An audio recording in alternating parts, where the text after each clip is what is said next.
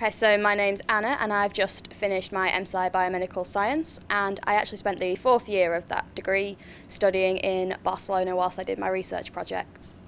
Uh, I think the biggest highlight of the studying that I did in Spain was that although it was really long days, we had quite long lunch breaks and everyone in the lab made a really big effort to make sure that I was involved. It's like, oh, we're going to lunch, do you want to come with?